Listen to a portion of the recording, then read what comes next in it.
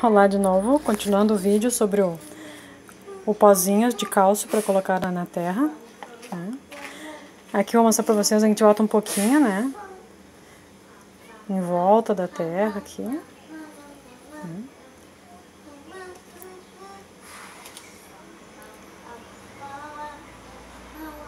Não, não coloca no miolo, né, para não ficar muito forte. A gente coloca sempre espalhado aqui por em volta. E enquanto tiver esse pozinho branco, essa casquinha estiver aparecendo, não precisa colocar de novo. Então, isso aí a partir de seis meses que a gente vai ver que, tá, que ela está sumindo.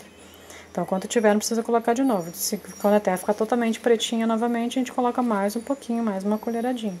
Isso a gente pode colocar em qualquer tipo de terra. Tá? Na horta, na, na grama. Onde precisar de, de cálcio, a gente coloca um pouquinho. Tá bom? Não faz mal, vai só fazer bem para a planta.